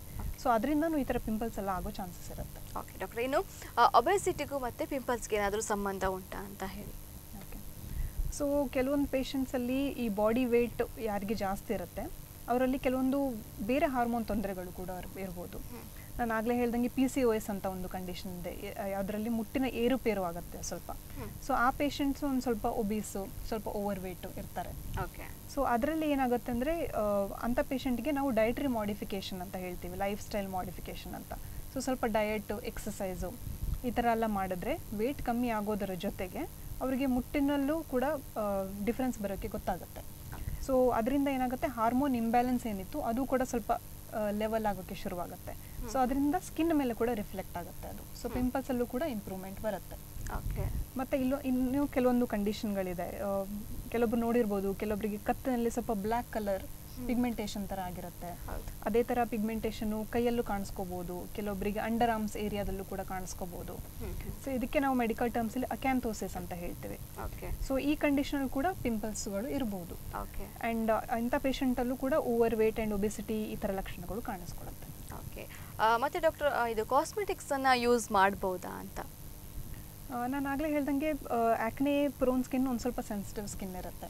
ಸೊ ಎಲ್ಲ ಕಾಸ್ಮೆಟಿಕ್ಸ್ ಕೂಡ ಸೂಟ್ ಆಗೋದಿಲ್ಲ ಅವರಿಗೆ. ಸೊ ಬೆಸ್ಟ್ ಆಪ್ಷನ್ ಅಂದರೆ ಆದಷ್ಟು ಮೇಕಪ್ ಹಾಕದೇ ಇರೋದು ಒಳ್ಳೆಯದು ಈ ಥರ ಪೇಷಂಟ್ಸು.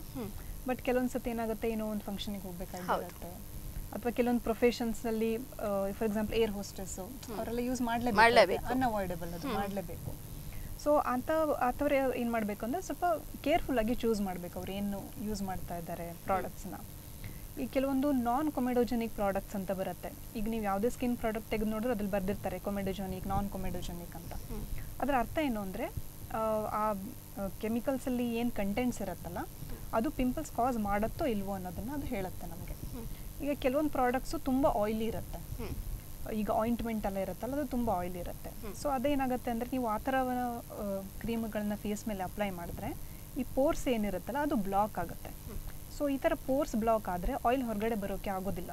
ಸೊ ಅದರಿಂದ ಪಿಂಪಲ್ಸ್ ಜಾಸ್ತಿ ಆಗ್ಬೋದು. ಸೊ ಆ ಥರ ಪ್ರಾಡಕ್ಟ್ಸ್ನ ಅವಾಯ್ಡ್ ಮಾಡಬೇಕು. ಓಕೆ ಅದು ಬಿಟ್ಟು ಅಲ್ಟರ್ನೇಟಿವ್ ಏನಂದರೆ ಕೆಲವೊಂದು ಜೆಲ್ ಬರುತ್ತೆ ಲೋಷನ್ ಬರುತ್ತೆ. ಅದರಲ್ಲೆಲ್ಲ ವಾಟರ್ ಕಂಟೆಂಟ್ ಜಾಸ್ತಿ ಇರುತ್ತೆ. ಸೊ ಅದು ಆ್ಯಕ್ನೆ ಪ್ರೋನ್ ಸ್ಕಿನ್ಗೆ ಸ್ವಲ್ಪ ಸೂಟ್ ಆಗುತ್ತೆ. ಸೊ ನೀವು ಪ್ರಾಡಕ್ಟ್ನ ಚೂಸ್ ಮಾಡುವಾಗ ಇವನ್ನೆಲ್ಲ ನೋಡಿಬಿಟ್ಟು ಚೂಸ್ ಮಾಡಬೇಕು. ಆದಷ್ಟು ಅವಾಯ್ಡ್ ಮಾಡೋದು ಒಳ್ಳೆಯದು ಬಟ್ ಯೂಸ್ ಮಾಡಲೇಬೇಕು ಅಂದರೆ ಇವನ್ನೆಲ್ಲ ಸ್ವಲ್ಪ ಕನ್ಸಿಡರ್ ಮಾಡಬೇಕು. ಓಕೆ ನಮ್ಮ ಸ್ಕಿನ್ಗೆ ಯಾವ ಸೂಟ್ ಆಗ್ತದೆ ಅಂತ ಸೊ ಅದನ್ನು ನಾವು ಹಾಕ್ಬೇಕಾಗಿ ಬಳಸಬೇಕಾಗ್ತದೆ. ಸೊ ಅದೇ ಅದರ ಜೊತೆಗೇನು ಡ್ಯಾಂಡ್ರಫ್ ಇಂದ ಪಿಂಪಲ್ಸ್ ಆಗ್ತದಾ ಅಂತ ಕೆಲವೊಮ್ಮೆ ಅಂದ್ರೆ ಡ್ಯಾಂಡ್ರಫ್ ನಮ್ಮ ಭುಜದ ಮೇಲೆ ಎಲ್ಲ ಅಲ್ಲಿ ಎಲ್ಲ ಕೆಲವೊಮ್ಮೆ ಪಿಂಪಲ್ಸ್ ಆಗ್ತದೆ ಅಂತ ಹೇಳ್ತಾರೆ ಕೆಲವರು. ಸೊ ಇದು ಹೌದಾ? ಪಿಂಪಲ್ ಇದು ಇದರಿಂದ ಡ್ಯಾಂಡ್ರಫ್ ಇಂದ ಸೊ ಡ್ಯಾಂಡ್ರಫಲ್ಲಿ ಬೇಸಿಕಲಿ ಏನಾಗುತ್ತೆ ಅಂದರೆ ತಲೆ ಆಯಿಲಿ ಆಗುತ್ತೆ. ಪಿಂಪಲ್ಸಲ್ಲಿ ಹೇಗೆ ಫೇಸ್ ಆಯಿಲಿ ಆಗುತ್ತೋ ಓಕೆ ತಲೆ ಆಯಿಲಿ ಆದರೆ ಡ್ಯಾಂಡ್ರಫ್ ಬರುತ್ತೆ. ಸೊ ಆ ಥರ ಪೇಷಂಟ್ಸಲ್ಲಿ ಏನಾಗುತ್ತೆ ಅಂದರೆ ತಲೆ ಆಯಿಲಿ ಆದಾಗ ಈ ಥರ ಫೋರ್ ಹೆಡ್ ಕೂಡ ಸ್ವಲ್ಪ ಆಯಿಲಿ ಆಗುತ್ತೆ ಕೆಲವೊಬ್ಬರಿಗೆ ಸೊ ಫೋರ್ ಹೆಡ್ಡಲ್ಲೂ ಕೂಡ ಪಿಂಪಲ್ಸ್ ಬರಬಹುದು ಸೊ ಡ್ಯಾಂಡ್ರಫ್ ಇರೋ ಪೇಷಂಟ್ಸ್ಗೆ ಯೂಶಲಿ ಫೋರ್ ಹೆಡಲ್ಲಿ ಪಿಂಪಲ್ಸ್ ಬರುತ್ತೆ. ಸೊ ನಾವು ಅದಕ್ಕೆ ಪಿಂಪಲ್ಸ್ ಪೇಷಂಟ್ ನೋಡಿದಾಗ ಅವ್ರಿಗೆ ಕೇಳ್ತೀವಿ ನಿಮ್ಗೆ ಡ್ಯಾಂಡ್ರಫ್ ಕೂಡ ಇದೆಯಾ? ಅಂತ. ಯಾಕಂದ್ರೆ ನಾವು ಡ್ಯಾಂಡ್ರಫ್ ಇದ್ರೆ ಜೊತೆಗೆ ಅದನ್ನು ಟ್ರೀಟ್ ಮಾಡಬೇಕಾಗುತ್ತೆ. ಬಿಕಾಸ್ ನಾವು ಡ್ಯಾಂಡ್ರಫ್ ಟ್ರೀಟ್ ಮಾಡಿಲ್ಲ ಅಂದರೆ ಆಯಿಲಿ ತಲೆ ಏನಿದೆ ಆಯಿಲಿ ಸ್ಕ್ಯಾಲ್ಪ್ ಏನಿದೆ ಅದರಿಂದ ಮತ್ತೆ ಮತ್ತೆ ಪದೇ ಪದೇ ಪಿಂಪಲ್ಸ್ ಕೂಡ ಆಗಬಹುದು. ಸೊ ನಾವು ಎರಡನ್ನೂ ಜೊತೆ ಜೊತೆಗೆ ಟ್ರೀಟ್ ಮಾಡಬೇಕಾಗುತ್ತೆ.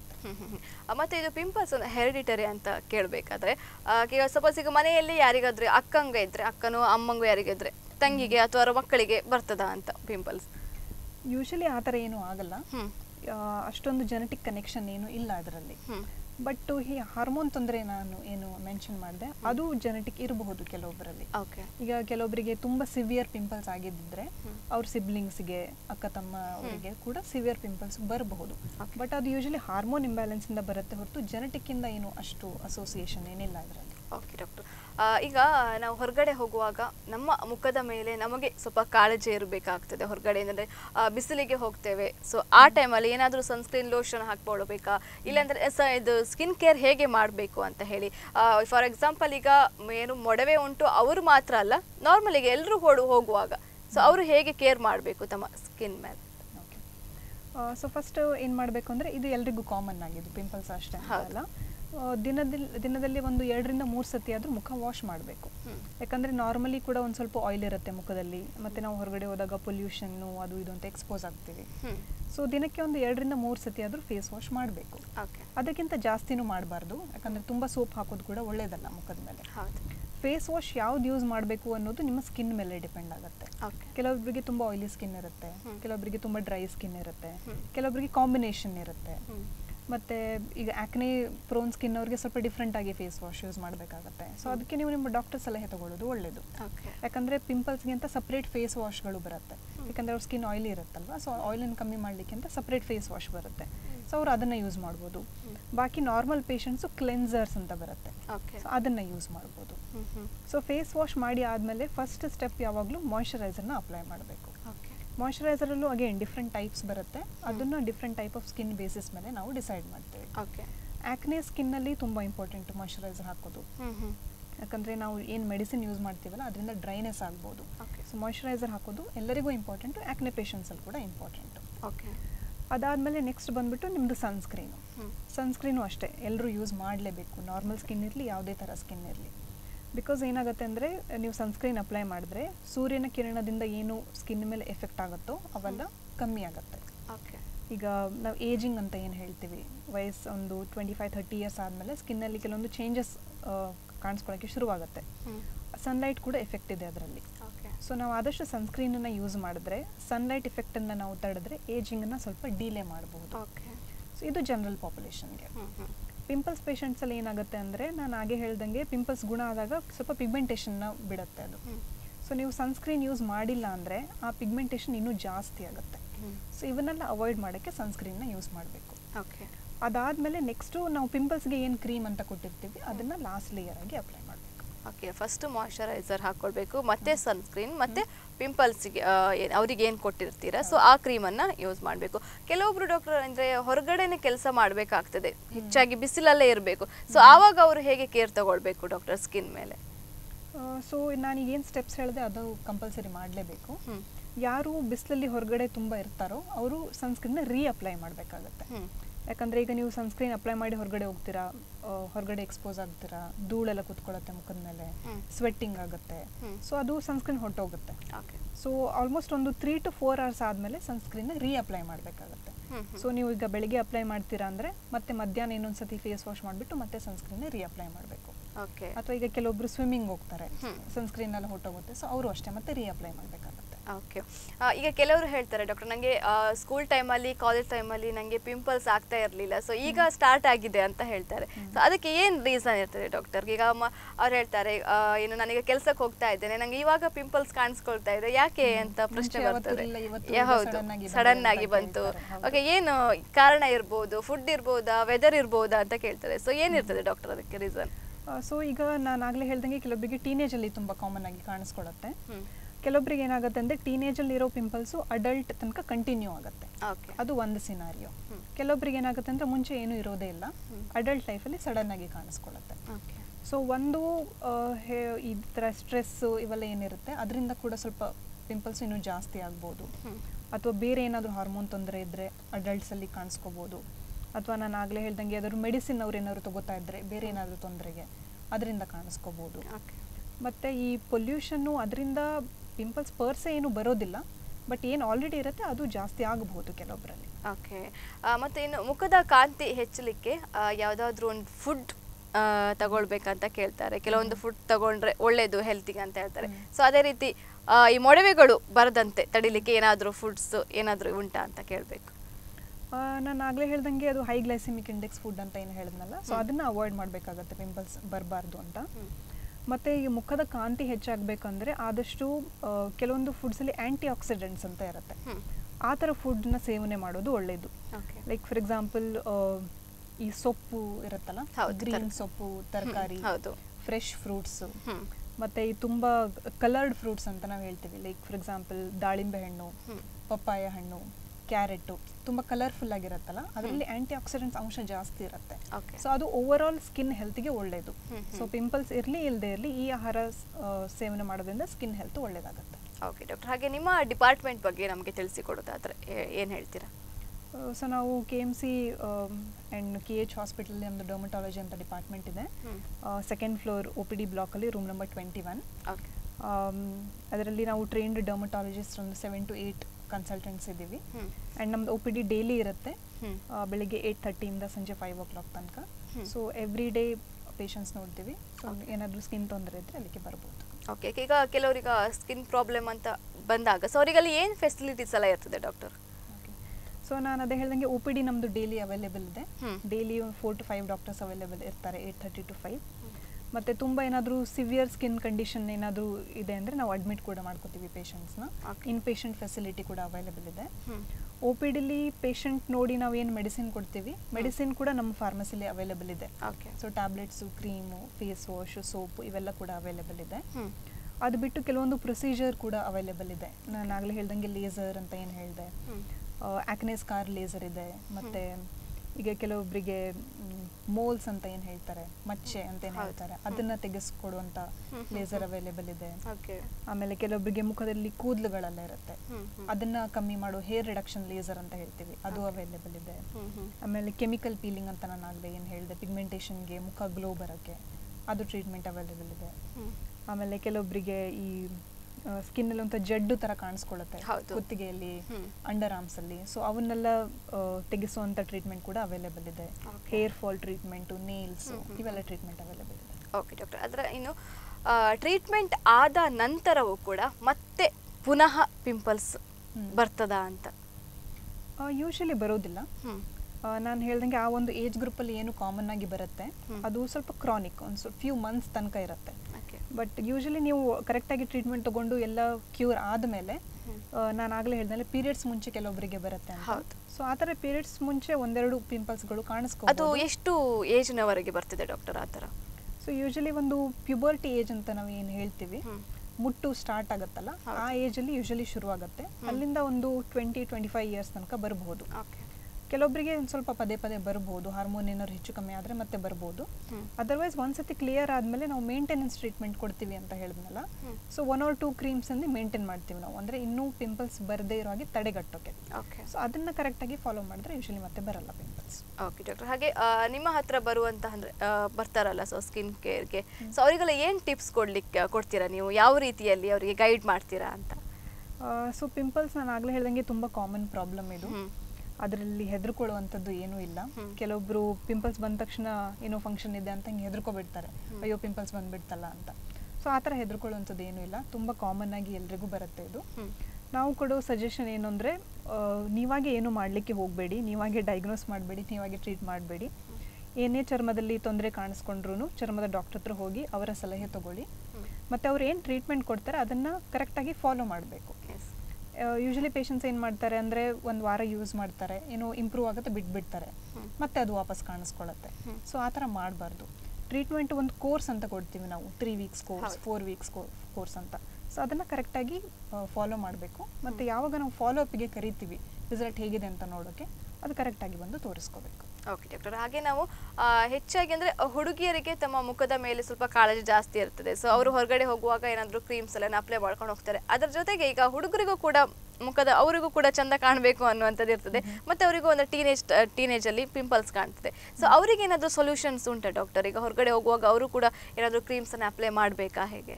ಸೊ ಈಗ ನಾನು ಏನು ಸ್ಕಿನ್ ಕೇರ್ ಅಂತ ನಾನು ಏನು ಎಕ್ಸ್ಪ್ಲೇನ್ ಮಾಡಿದೆ ಅದು ಇಬ್ಬರಿಗೂ ಬರುತ್ತೆ ಮೇಲ್ಸು ಫೀಮೇಲ್ಸ್ಗೆ ಅದರಲ್ಲಿ ಏನು ಡಿಫ್ರೆನ್ಸ್ ಇಲ್ಲ? ಇದು ಫೀಮೇಲ್ಸ್ ಅಷ್ಟೇ ಯೂಸ್ ಮಾಡಬೇಕು ಮೇಲ್ಸ್ ಅಷ್ಟೇ ಯೂಸ್ ಮಾಡಬೇಕು ಆ ಥರ ಏನೂ ಇಲ್ಲ. ಸೊ ಆ ಪ್ರಾಡಕ್ಟ್ಸ್ ಎಲ್ಲ ಅವರು ಕೂಡ ಯೂಸ್ ಮಾಡಬಹುದು. ಬಟ್ ಇನ್ನೊಂದು ಡಿಫ್ರೆನ್ಸ್ ಏನಂದರೆ ಈಗೇನು ನಾವು ಕಾಸ್ಮೆಟಿಕ್ಸ್ ಅಪ್ಲೈ ಮಾಡ್ತೀವಿ ಮೇಲ್ ಇರಲಿ ಫೀಮೇಲ್ ಇರಲಿ. ಅದನ್ನು ಯಾವಾಗಲೂ ರಿಮೂವ್ ಮಾಡಬೇಕು. ತುಂಬ ತುಂಬಾ ಜನ ಏನು ಮಾಡ್ತಾರೆ ಏನೋ ಫಂಕ್ಷನ್ ಹೋಗಿರ್ತಾರೆ ಮೇಕಪ್ ಹಾಕೊಂಡಿರ್ತಾರೆ ಹಾಗೆ ಮಲಗಿಬಿಡ್ತಾರೆ. ಅದನ್ನ ಮಾಡಬಾರ್ದು. ರಾತ್ರಿ ಯಾವತ್ತೂ ಮಲಗೋಕ್ಕಿಂತ ಮುಂಚೆ ಮೇಕಪ್ ಎಲ್ಲ ತೆಗೆದು ಫೇಸ್ ವಾಶ್ ಮಾಡಿನೇ ಮಲಗಬೇಕು. ಇದು ಇಬ್ರಿಗೂ ಬರುತ್ತೆ ಮೇಲ್ಸ್ಗೆ ಫೀಮೇಲ್ಸ್ಗೆ. ಮೇಕಪ್ ಹಾಗೆ ಇಟ್ಕೊಂಡು ಮಲಗಿದ್ರೆ ಮತ್ತೆ ಬೆಳಿಗ್ಗೆ ತನಕ ಅದು ಹಾಗೆ ಇರುತ್ತೆ ಸ್ಕಿನ್ ಮೇಲೆ ಮತ್ತೆ ಏನಾದರೂ ರಿಯಾಕ್ಷನ್ ಆಗೋದು ಆ ಥರ ಎಲ್ಲ ಆಗುತ್ತೆ. ಸೊ ಅದು ಸ್ವಲ್ಪ ಕೇರ್ ತಗೋಬೇಕು. ಓಕೆ ಟ್ರೀಟ್ಮೆಂಟು ಕೂಡ ಸೇಮ್ ಇರ್ತದೆ ಡಾಕ್ಟರ್ ಮೇಲ್ಸಿಗೂ ಕೂಡ ಮೇಲ್ಸ್ ಆ್ಯಂಡ್ ಫೀಮೇಲ್ಸಿಗೆ ಆಲ್ಮೋಸ್ಟ್ ಸೇಮ್ ಇರುತ್ತೆ. ಕೆಲವೊಂದು ಮೆಡಿಸಿನಲ್ಲಿ ಸ್ವಲ್ಪ ವ್ಯತ್ಯಾಸ ಬರುತ್ತೆ. ಯಾಕಂದ್ರೆ ಫೀಮೇಲ್ಸ್ ನಾವು ಸ್ವಲ್ಪ ಪ್ರೆಗ್ನೆಂಟ್ ಏನಾದರೂ ಇದ್ದಾರಾ. ಆ ಥರ ನೋಡಿ ಕೊಡಬೇಕಾಗತ್ತೆ. ಅದು ಬಿಟ್ಟರೆ ಮೇಲ್ಸ್ ಫೀಮೇಲ್ಸ್ ಆಲ್ಮೋಸ್ಟ್ ಸೇಮ್ ಇರುತ್ತೆ ಟ್ರೀಟ್ಮೆಂಟ್ ಓಕೆ ಕೆಲವರೀಗ ಮೆಡಿಸಿನ್ಸನ್ನ ಅರ್ಧಕ್ಕೆ ಸ್ಟಾಪ್ ಮಾಡ್ತಾರೆ. ಸೊ ಅರ್ಧಕ್ಕೆ ಸ್ಟಾಪ್ ಮಾಡೋದ್ರಿಂದ ಇನ್ನೂ ಜಾಸ್ತಿ ಆಗ್ತದ ಪಿಂಪಲ್ಸ್ ಅಂತ. ಸೊ ಆ ಥರ ಅದು ಹಾಗೆ ಮಾಡಿದಾಗ ಏನಾಗುತ್ತಂದ್ರೆ ಈಗ ನಾವು ಮೆಡಿಸಿನ್ ಕೊಟ್ಟಾಗ ಡಿಸೀಸ್ ಸ್ವಲ್ಪ ಕಂಟ್ರೋಲಿಗೆ ಬಂದಿರುತ್ತೆ. ಎಲ್ಲ ಚೆನ್ನಾಗಿ ಇಂಪ್ರೂವ್ ಆಗ್ತಾ ಇರುತ್ತೆ. ನೀವು ಸಡನ್ ಆಗಿ ಸ್ಟಾಪ್ ಮಾಡಿದ ತಕ್ಷಣ ಅದು ಮತ್ತೆ ಸಡನ್ ಆಗಿ ವಾಪಸ್ ಬರುತ್ತೆ. ಸಡನ್ ಆಗಿ ವಾಪಸ್ ಬಂದಾಗ ಇನ್ನೂ ಸಿವಿಯಾರಿಟಿ ಜಾಸ್ತಿ ಆಗೋ ರಿಸ್ಕ್ ಇರುತ್ತೆ. ಸೊ ಅದಕ್ಕೆ ಯಾವುದು ಸಡನ್ ಆಗಿ ಸ್ಟಾಪ್ ಮಾಡಬಾರ್ದು ಮೆಡಿಸಿನ್ ಬಿಕಾಸ್ ಒಂದ್ಸತಿ ಜಾಸ್ತಿ ಸಿವಿಯರ್ ಆಗಿಬಿಟ್ರೆ ಮತ್ತೆ ಅದನ್ನ ಕಂಟ್ರೋಲ್ ಮಾಡೋದು ತುಂಬಾ ಕಷ್ಟ ಆಗುತ್ತೆ. ಓಕೆ ಮತ್ತೆ ಇನ್ನು ಕೆಲವರು ಆವಾಗಲೇ ನಾವು ಮಾತಾಡು ಹೇಳಿದ್ರೆ ನೀವು ಕೆಲವರು ಅಂದ್ರೆ ಉಗ್ರಲ್ಲಿ ಮೊಡವೆಯನ್ನು ಹೆಚ್ಚಿ ಉಟ್ಕೊಳ್ತಾರೆ ಅಂತ. ಸೊ ಅದ್ರ ಉಗ್ರ ತಾಗಿದಾಗ ಅದು ಮಾರ್ಕ್ ಆಗ್ತದೆ ಅದು ಕಂಟಿನ್ಯೂ ಹಾಗೆ ಇರ್ತದೆ ಹೋಗೋದಿಲ್ಲ ಅಂತ ಹೇಳ್ತಾರೆ. ಸೊ ಇದು ಹೌದಾ ಡಾಕ್ಟರ್ ನಿಜವಾಗ್ಲೂ? ಹೌದು. ಯಾಕಂದ್ರೆ ನಾನು ಇನ್ಫ್ಲಮೇಷನ್ ಅಂತ ಏನು ಹೇಳಿದೆ ರೆಡ್ನೆಸ್ ಅಂತ ಏನಿರುತ್ತೆ ಪಿಂಪಲ್ಸಲ್ಲಿ ಅದು ನೀವು ಕೈಯಿಂದ ಚಿವುಟಿದಾಗ ಏನಾಗುತ್ತೆ ಅಂದ್ರೆ ಅದು ಸ್ಕಿನ್ ಒಳಗಡೆ ಏನಿರುತ್ತಲ್ಲ ಅದು ಒಳಗಡೆ ಇನ್ನೂ ತುಂಬಾ ಸ್ಪ್ರೆಡ್ ಆಗಿಬಿಡುತ್ತೆ. ನಮಗೆ ಹೊರಗಡೆ ಏನು ಕಾಣಿಸೋದಿಲ್ಲ. ಹೊರಗಡೆ ಏನು ಅನ್ಸುತ್ತೆ ಓ ಒಡೆದೋಯ್ತು ಲಿಕ್ವಿಡ್ ಬಂತು ಹೊರಗಡೆ ಕಮ್ಮಿ ಆಯ್ತು ಅಂತ ಅನ್ಸುತ್ತೆ. ಬಟ್ ಒಳಗಡೆ ಅದು ಇನ್ನೂ ತುಂಬಾ ಡೀಪ್ ಆಗಿ ಹೋಗ್ಬಿಡುತ್ತೆ. ಸೊ ಅದಕ್ಕೆ ಕೈಯಿಂದ ಚಿವುಟಬಾರ್ದು ಅದನ್ನ. ಒಳಗಡೆ ಡೀಪಾಗಿ ಹೋದಾಗ ಏನಾಗುತ್ತೆ ಅಂದ್ರೆ ಡ್ಯಾಮೇಜ್ ಕೂಡ ಅಷ್ಟೇ ಜಾಸ್ತಿ ಆಗುತ್ತೆ. ಡ್ಯಾಮೇಜ್ ಜಾಸ್ತಿ ಆದರೆ ಸ್ಕಾರ್ ಕೂಡ ಜಾಸ್ತಿ ಆಗುತ್ತೆ. ಸೊ ಸ್ಕಾರ್ ಆದ್ರೆ ಮತ್ತೆ ಅದಕ್ಕೆ ಲೇಸರ್ ಟ್ರೀಟ್ಮೆಂಟು ಅವನ್ನೆಲ್ಲ ಮಾಡಬೇಕಾಗತ್ತೆ. ಸೊ ಅದಕ್ಕೆ ಯಾವುದೇ ಕಾರಣಕ್ಕೂ ಕೈಯಿಂದ ಮಾತ್ರ ಇದನ್ನು ಮಾಡಬಾರ್ದು. ಓಕೆ ಮತ್ತೆ ಡಾಕ್ಟರ್ ಈಗ ಕೆಲವರು ಸ ಚಿಕ್ಕ ಮಕ್ಕಳು ಕೂಡ ಏನಾದರೂ ಕ್ರೀಮ್ಸನ್ನು ಅಪ್ಲೈ ಮಾಡ್ತಾರೆ ಮಾಯಶ್ಚರೈಸರ್ ಆಗಿರ್ಬೋದು ಬೇರೆ ಏನೋ ಕ್ರೀಮ್ ಸೊ ಅವರು ಅದನ್ನ ಒಂದು ಏಜ್ ಇರ್ತದೆ. ಅಂದರೆ ಈ ಏಜ್ನ ನಂತರನೇ ಹಾಕಬೇಕು ಅಂತ. ಸೊ ಏನಾದರೂ ಏಜ್ ಲಿಮಿಟ್ ಉಂಟಾ ಡಾಕ್ಟರ್ ಈಗ ಹದಿನೆಂಟು ವರ್ಷದ ಒಳಗಿನವರು ಕೂಡ ಅಪ್ಲೈ ಮಾಡ್ಬೋದಾ ಕ್ರೀಮನ್ನು ಸೊ ಅಥವಾ ಹದಿನೆಂಟು ವರ್ಷ ದಾಟಿದವರೇ ಅಪ್ಲೈ ಮಾಡಬೇಕಾ ಅಂತ? ಆ ಥರ ಏನು ರೆಸ್ಟ್ರಿಕ್ಷನ್ ಏನಿಲ್ಲ. ಈ ಮಾಯಶ್ಚರೈಸರ್ ಮತ್ತೆ ಸನ್ಸ್ಕ್ರೀನು ಫೇಸ್ ವಾಶ್ ಅಂತ ನಾನು ಏನು ಹೇಳಿದೆ ಅದು ಎಲ್ಲರೂ ಕೂಡ ಯೂಸ್ ಮಾಡಬೇಕು. ಅದೇನು ಮಕ್ಕಳಲ್ಲಿ ಯೂಸ್ ಮಾಡಬಾರ್ದು ಆ ಥರ ಏನಿಲ್ಲ. ಮತ್ತೆ ಮೇಕಪ್ ವಿಷಯಕ್ಕೆ ಬಂದಾಗ? ಮೇಕಪ್ ವಿಷಯಕ್ಕೆ ಬಂದಾಗ ನೀವು ಆದಷ್ಟು ಏಯ್ಟೀನ್ ಇಯರ್ಸ್ ಮೇಲ್ಗಡೆ ಯೂಸ್ ಮಾಡೋದು ಒಳ್ಳೆಯದು ಬಿಕಾಸ್ ಮಕ್ಕಳಲ್ಲಿ ಸ್ಕಿನ್ ಸ್ವಲ್ಪ ಡಿಫ್ರೆಂಟ್ ಆಗಿರುತ್ತೆ ಅಡಲ್ಟ್ಸಿಗೆ ಕಂಪೇರ್ ಮಾಡಿದ್ರೆ.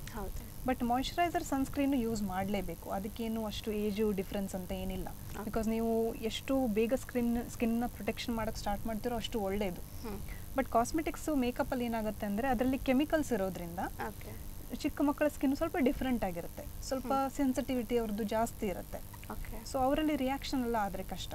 ಸೊ ಅದಕ್ಕೆ after some eighteen twenty years ಅವರು ಕಾಸ್ಮೆಟಿಕ್ಸ್ನ ಯೂಸ್ ಮಾಡ್ಬೋದು. ಮಕ್ಕಳಲ್ಲಿ ಸ್ವಲ್ಪ ಕೇರ್ಫುಲ್ ಆಗಿರಬೇಕು. ಓಕೆ ಡಾಕ್ಟರ್ ಹಾಗೆ ಇದೇ ವಿಚಾರಕ್ಕೆ ಸಂಬಂಧಪಟ್ಟೆ ನೀವು ಏನಾದರೂ ನಮ್ಮ ವೀಕ್ಷಕರಿಗೆ ಮೆಸೇಜನ್ನು ಹೇಳೋದಿದ್ರೆ ಏನು ಹೇಳಲಿಕ್ಕೆ ಇಷ್ಟಪಡ್ತೀರಾ? ಓವರ್ ಆಲ್ ಆಗಿ ಮೊಡವೆ ಬಂತು ಮತ್ತೆ ಬೇರೆ ಕೂಡ ಬೇರೆ ವಿಷಯದಲ್ಲಿ. ಸೊ ಓವರ್ ಆಲ್ ಆಗಿ ಹೇಳಬೇಕಂದ್ರೆ skin is the largest organ of the body ಅಂತ ಹೇಳ್ತೀವಿ ನಾವು. ಹಾರ್ಟ್ ಲಿವರ್ ಎಲ್ಲ ಹೇಗಿದೆಯೋ. Skin one of the organ ಇದ್ದಂಗೆ and it's the largest organ. And skin ಅಂದರೆ ಹೊರಗಡೆ ಕಾಣುವಂಥದ್ದು. ಎಲ್ಲರಿಗೂ ತುಂಬ ಕಾಳಜಿ ಇರುತ್ತೆ ಸ್ಕಿನ್ ಅಂದರೆ. ಸೊ ಆದಷ್ಟು ಸ್ಕಿನ್ನ ಕಾಳಜಿಯನ್ನು ನೀವು ತಗೋಬೇಕು. ಒಂದು ಸ್ಕಿನ್ ಕೇರ್ ರೂಟೀನ್ ಅನ್ನೋದನ್ನು ನೀವು ಫಾಲೋ ಮಾಡಬೇಕು. ಸ್ಕಿನ್ನನ್ನು ಚೆನ್ನಾಗಿಟ್ಕೊಳ್ಳೋದು ಮಾಯ್ಶ್ಚರೈಸ್ ಮಾಡೋದು ಸನ್ಸ್ಕ್ರೀನ್ ಹಚ್ಚೋದು ಇದನ್ನೆಲ್ಲ ರೆಗ್ಯುಲರ್ ಆಗಿ ಮಾಡಬೇಕು. ಒಂದಿನ ಮಾಡಿ ನಾಲ್ಕು ದಿನ ಮಾಡದೇ ಇರೋದ್ರಿಂದ ಏನು ಯೂಸ್ ಆಗೋದಿಲ್ಲ. ಸೊ ನೀವೇನು ಸ್ಕಿನ್ ಕೇರ್ ತೊಗೋತೀರೋ ಅದನ್ನು ಕನ್ಸಿಸ್ಟೆಂಟಾಗಿ ಯೂಸ್ ಮಾಡಬೇಕು. ಎವ್ರಿ ಡೇ ಯೂಸ್ ಮಾಡಬೇಕು. ಮತ್ತು ಸ್ಕಿನ್ನಲ್ಲಿ ಯಾವುದೇ ತರಹದ ತೊಂದರೆ ಕಾಣಿಸ್ಕೊಂಡ್ರೂ ನೆಗ್ಲೆಕ್ಟ್ ಮಾಡಬಾರ್ದು ಅದನ್ನ. ಬಿಕಾಸ್ ನೆಗ್ಲೆಕ್ಟ್ ಮಾಡಿದ್ರೆ ಅದು ಮತ್ತೆ ತುಂಬಾ ಜಾಸ್ತಿ ಪ್ರೋಗ್ರೆಸ್ ಎಲ್ಲ ಆದ್ರೆ ಕಷ್ಟ ಆಗುತ್ತೆ. ಸೊ ಸ್ಕಿನ್ನಲ್ಲಿ ಏನೇ ತೊಂದರೆ ಕಾಣಿಸ್ಕೊಂಡ್ರು ತಕ್ಷಣ ಡಾಕ್ಟರ್ ಹತ್ರ ಹೋಗಿ ತೋರಿಸ್ಬೇಕು. ಮತ್ತೆ ತಾವೇ ಮೆಡಿಸಿನ್ ಮಾಡೋದು ಅಥವಾ ಮೆಡಿಕಲ್ ಶಾಪಲ್ಲಿ ತಗೊಂಡು ಅಪ್ಲೈ ಮಾಡೋದು ಈ ಥರದ್ದನ್ನು ಮಾಡಬೇಕು ಮಾಡಬಾರ್ದು. ಬಹಳ ಒಳ್ಳೆ ಒಂದು ಅನ್ನ ಕೊಟ್ಟಿದ್ದೀರಾ. ತಮಗೂ ಕೂಡ thank you so much madam ಕಾರ್ಯಕ್ರಮಕ್ಕೆ ಬಂದಿರೋದಕ್ಕೆ. ವೀಕ್ಷಕರೇ ನೋಡಿದ್ರಲ್ಲ, ಇದಾಗಿತ್ತು ಇವತ್ತಿನ ಆರೋಗ್ಯ ಚಿಂತನಾ ಕಾರ್ಯಕ್ರಮ. ಮುಂದಿನ ಸಂಚಿಕೆಯಲ್ಲಿ ಇನ್ನೊಂದು ವಿಷಯದೊಂದಿಗೆ ನಾನು ನಿಮ್ಮನ್ನ ಭೇಟಿ ಆಗ್ತೀನಿ ಅಲ್ಲಿಯವರೆಗೂ ನಿರಂತರ ಸುದ್ದಿ ಹಾಗೂ ಮನೋರಂಜನೆಗಾಗಿ ತಾವೆಲ್ಲರೂ ನೋಡ್ತಾ ಇರಿ. The four to seven.